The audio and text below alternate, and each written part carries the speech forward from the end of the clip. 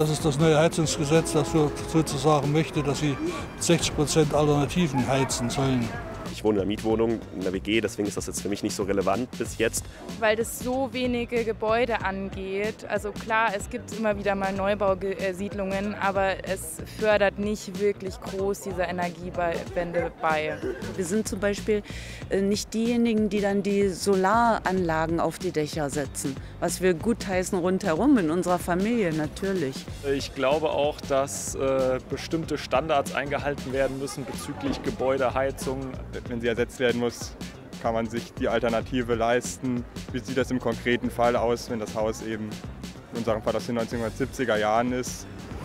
Wir müssen neu bauen. Da wir einfach nur die Mieter sind, nur in Anführungszeichen, warten wir ab, was unsere Vermieterin tut. Nicht nur der kleine Bürger oder kleine Bürgerin ist da beteiligt, sondern auch der, das, große, das große Unternehmen muss da und auch die Stadtwerke oder so weiter müssen da ihren Beitrag zu leisten.